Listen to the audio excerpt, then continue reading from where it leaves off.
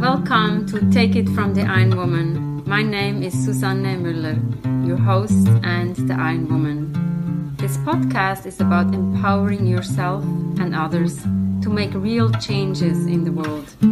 You will hear from everyday, smart, sophisticated, hip people like you and me. Not everybody has to be an Iron Woman to impress the world.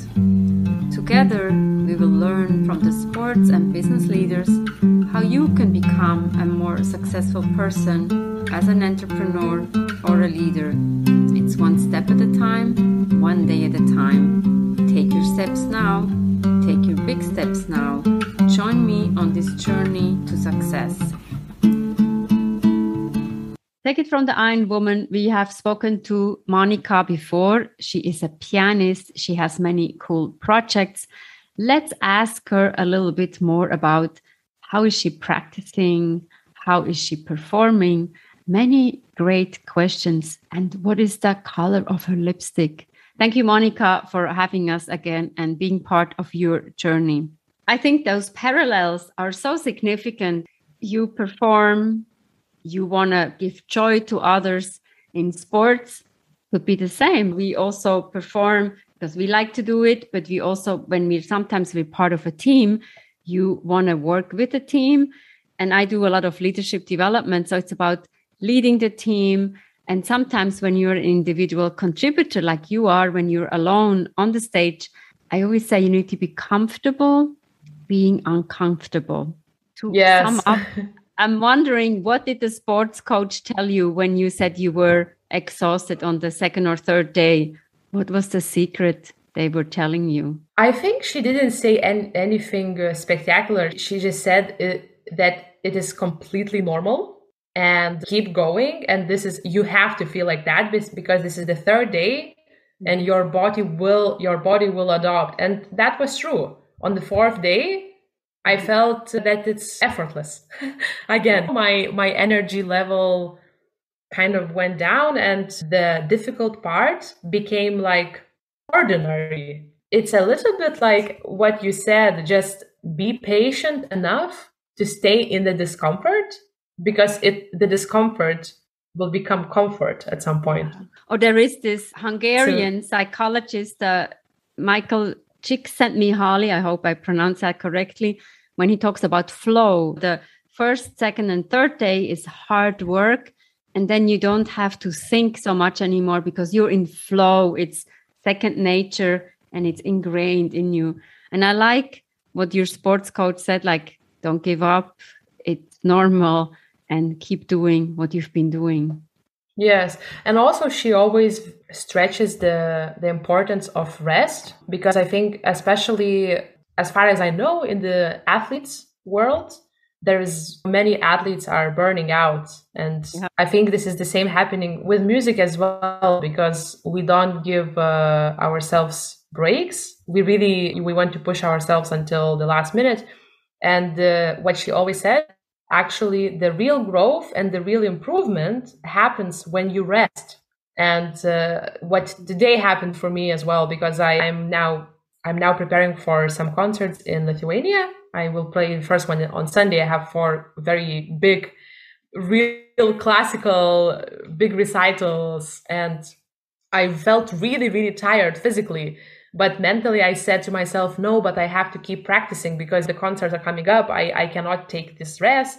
But my body is saying, Monika, it's time. It's time. It's, it's, you are ready. You are ready. Like, and, and still my body, my brain was not really listening to my, I would, I could say it's sixth sense, I guess, I guess. Mm-hmm, mm-hmm. And then I talked to her today and she said that this is really important to listen to your body and not to practice because you are just satisfying your dumb brain need to keep practicing even even though your body tells you that you are ready. That's enough. Go and rest. It's the same as that dalai lama says if you have a busy day ahead of you you need to meditate more. So it's the same concept. You need to rest. Basically 2 weeks before the race you need to rest. And that's when the nerves come up. And you're like i need to train. I need to train. You go crazy but you need to rest. You want to be rested for when the day comes when the marathon day is here and for you when that sunday comes and you want to perform at the very top level. Mm-hmm.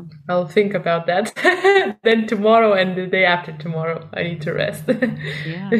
How many hours per day do you typically play and rehearse? I would say four. I would say four but uh, it varies. Sometimes it's five sometimes it's two but it's very different because when you practice alone it's one concentration. Maybe you don't get as tired. But when you, for example, now in Lithuania, I will be playing with the violin and cello as a trio. Mm-hmm. And to rehearse with other people is really exhausting because you have to constantly listening what other people do and like teamwork and who is leading, what is happening. So basically you, you have to deal with a lot of information and that is really tiring. And if I do that for four hours, I just can't practice anymore. It's hard to say because those four hours is only playing, but then you still keep thinking about those pieces. So maybe extra extra one hour. and that's important. When I talk about leadership, it's about you're on for four hours, but you still think about it, you internalize it. And again, that's like be comfortable being uncomfortable and rehearse it until everything is second nature. Wow. Yes, yes. But I guess with music, it's almost like it, it is never second in nature. mm, it's just okay. uh, yes, I think, and especially with piano, if we talk like about this extremely high professional level, that there is so the material is so complex that it's like you are forbidden to be a perfectionist. And if you are you are living a difficult life because there is so much material which can you know go wrong and you just can't control it. You just have to let it go and let the flow do it for you you know? No don't be a perfectionist. Be in the flow and i also think each day is different right each day you're different each season is different and each location probably is also different and the audience is also different how much do you feed from the audience? That's a very good question. I think that's where the coaching should come in. And as musicians, we very much concentrate on our craft, but we very rarely think about the bigger picture as an audience in the in the room. And and I think why we might feel a little bit uncomfortable because we go in on stage without having that sensation that we are together with the audience and we have this kind of bubble of energy around us and uh, what i think this is uh, this comes from uh, mm, actors training mm-hmm. like getting this personal space which is safe space where no one can actually do any harm for you and when you don't have it you really feel naked and vulnerable I knew about this technique before, but uh, recently I found out about this um, creating space around you where you actually feel comfortable. I'm still developing the relationship with the audience. I'm trying to convert it into more positive, positive side. Again, it's just mental tricks. The way the way you see it, the the way you feel it. So I'm trying to convert it into more positive and more more open feeling when I'm in front of the audience. And what will you wear when you perform? Does it depend on the piece? Uh, yeah, so actually, these concerts in Lithuania will be more traditional uh, classical music repertoire. I will probably wear some beautiful gowns, some beautiful dresses. But what we did with Anna, again, you can see in the website. And uh, on the October 8th, we are uh, publishing the documentary with the whole performance in the museum. And we were wearing these clothes which were designed and made by a very famous Lithuanian designer, Juozas Statkevičius.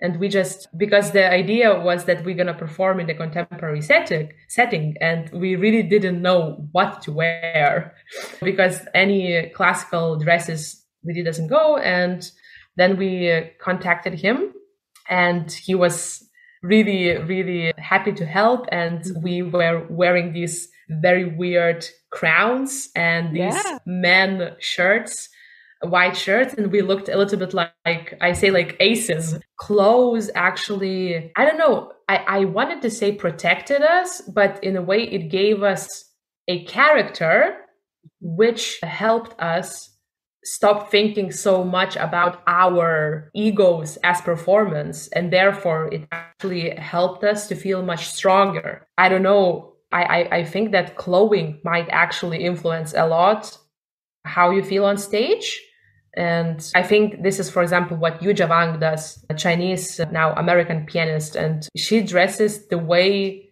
in, in, in those clothes, I think that she actually feels very comfortable and confident. And this is why she dresses like she dresses. Do you own all those dresses? I mean, like for the video, I saw the cool headpieces. But when you perform somewhere, do you own all the dresses or they provide you with some cool dresses? No, no, I own, I own. Well, I, I, I, I don't perform so much to be, to change those dresses every time. So I have uh, so, so beautiful, so many beautiful dresses that I just want to keep wearing them in concerts.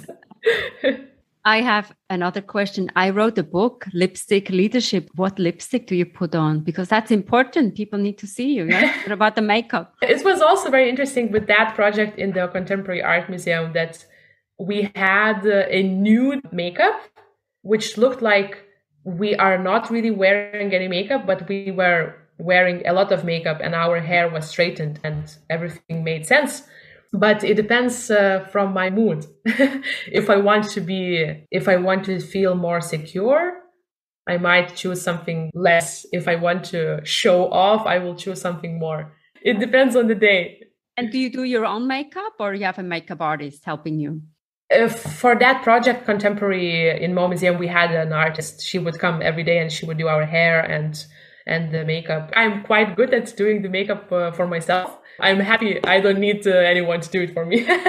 Thank you so much, Monika. This is so inspiring. And I feel like I learned so much. Maybe one day we can be in the audience when you are performing. Keep us updated on what's happening, and all the information is in the show note. Thank you so much.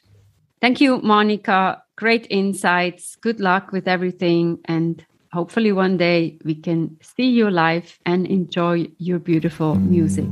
Take it from the Iron Woman. We have episodes every Monday, every Wednesday. Don't miss out. You can hear from great people like Monika, like trainers, authors, athletes. Anybody can be on the podcast. Take It from the Iron Woman is also a book. Download it on Apple Books, on Amazon or get a real copy, take it from the Iron Woman Global Business Coaching with Sports Parallels. See you next time. Thank you for your support and your followership.